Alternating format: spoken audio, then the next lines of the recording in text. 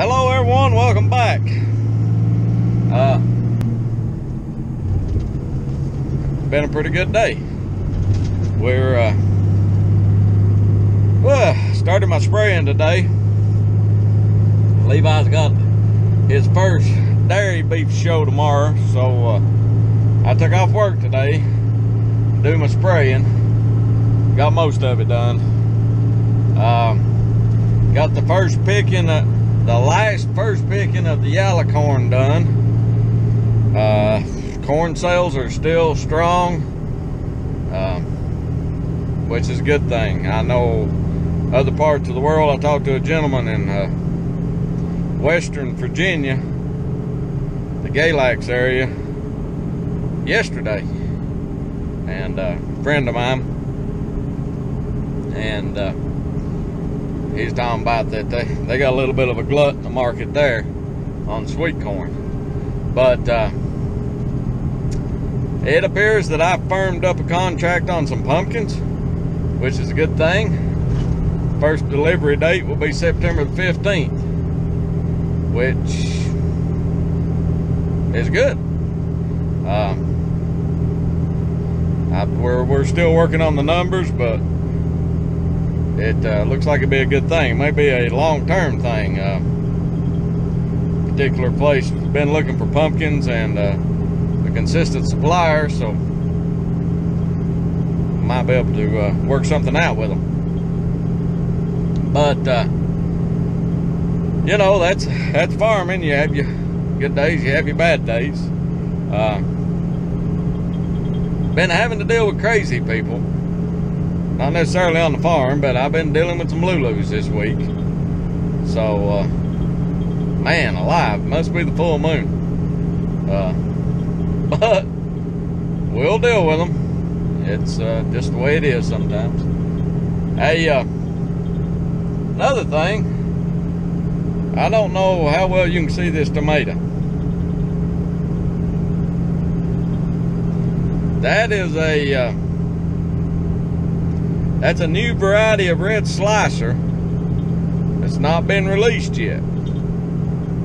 It's the second year my farming partner's grown it. And he's just got a few of them. But that, my friends, is a good tomato. And you can see every tomato on the vine looks about like that. Uh, it does not have a name, it does have a number.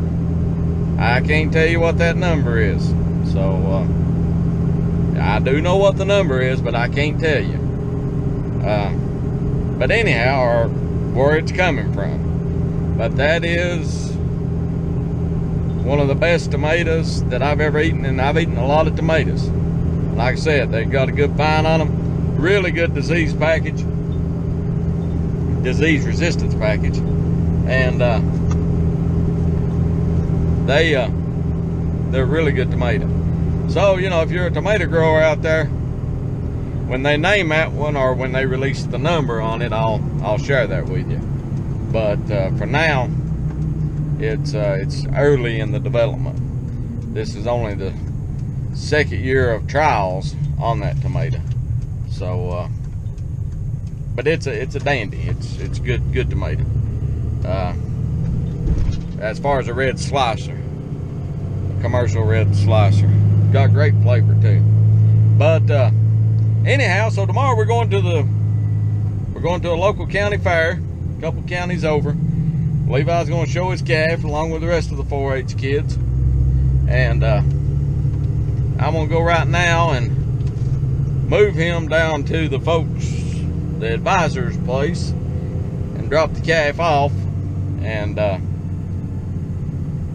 we will uh, hit the road with him in the morning. And tomorrow I got to finish spraying and uh, do some numbers on the pumpkins.